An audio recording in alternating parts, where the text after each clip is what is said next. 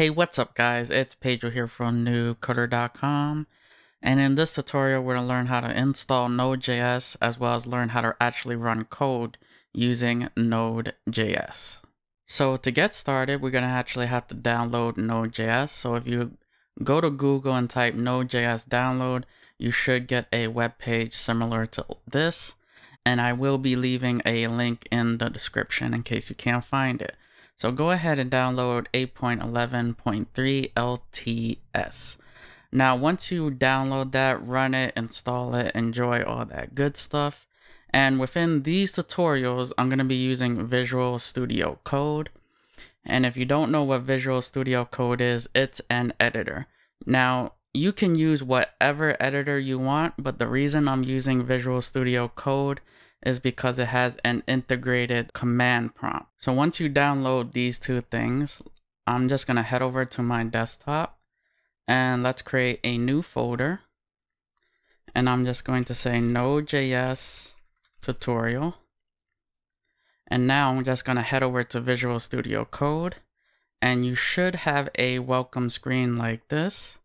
Go to File, Open Folder, and we are going to open the folder that we just created. So I'm just going to select this. And now I'm just going to hit Control N. Control N is going to create a new file. I'm going to hit Control S. And we are going to save this file and I'm just going to say app.js. And this is going to be a very, very simplistic uh, JavaScript file and we are just going to run it. And this is just a test to see if you installed Node.js correctly. So if I hit console.log hello world from Node.js. Now if I save this, and I'm actually going to exit out of this, but you saw that this just popped up on my screen. If I go to terminal, here is our command prompt.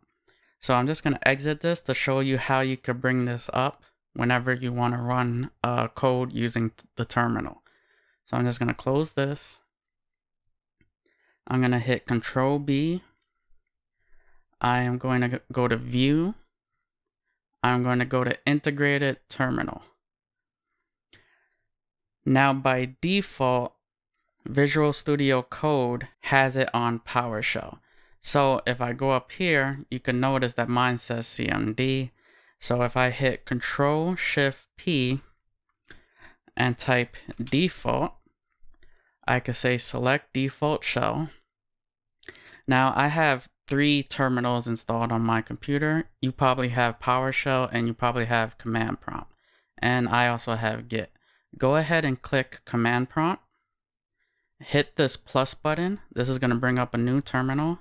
So if I was to hit this, it'll bring up another CMD and this should say CMD. So I'm just going to remove, for me, I'm going to remove one since I already have one open.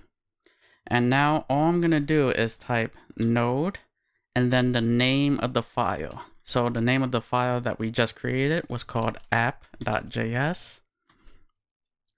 And here we go. We get an output of hello world from Node.js. Now, let's say that you're not using Visual Studio Code for whatever reason, you have your own editor of choice. What you can do is you hit the Start menu, type CMD, and then go to Command Prompt. And then you can see that we get something very similar to the integrated command prompt, but we're in a different location. So if I go to my desktop, open this folder. Let's copy the path that this folder is located. So I'm just going to hit Control C to copy. Head over to my command prompt. I'm just going to type CD. CD stands for change directory. All that means is, hey, change folder. So right now I am in a folder called users, Pedro Mercado. I need to be in this folder. So now I'm just going to click this go down to edit, click paste, and that's our path. So now if I hit enter, you can see that our path has changed. And now if I type node app.js, you can see that we get a hello world from Node.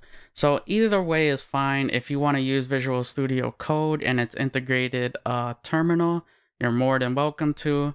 If you're using a different editor and it doesn't have its own integrated terminal, you're more than welcome to use the command prompt.